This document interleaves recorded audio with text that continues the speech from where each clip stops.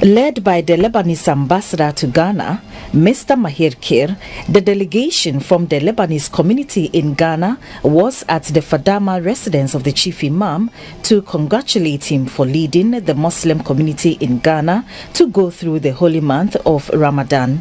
The delegation also wished the chief imam well on his 104th birthday. The Lebanese ambassador to Ghana, Mr. Maher Kheir, praised the chief imam for his exemplary leadership. He reiterated the Lebanese government's commitment to support initiatives being undertaken under his watch to invest in especially the youth.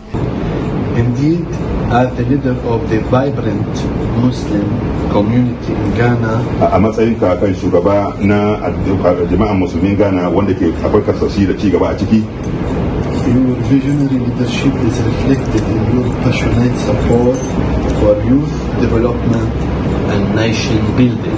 yunkurinka a cikin shugabanci amfaninsa ana ganin shi a cikin yadda matasa suke samun shiriya sannan kuma da samun zaman lafiya a cikin kasa gabaki ɗaya Your Eminence, Lebanon, like Ghana, is a country of multiculturalism.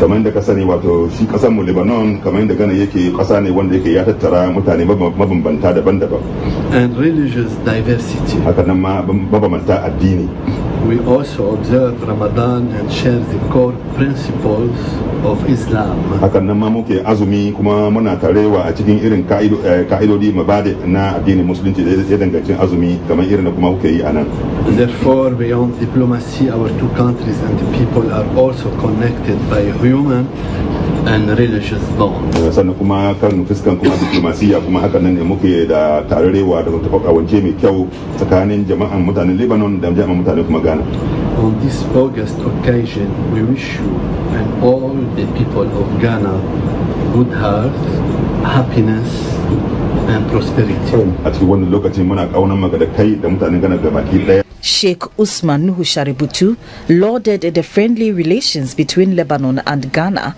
and was hopeful that the ties between the two countries will grow stronger.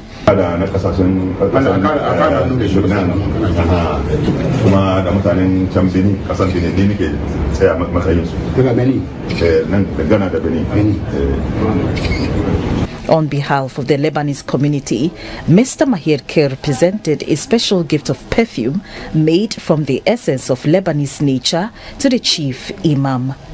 Gifty AJ, GBC News, Fadama, Accra.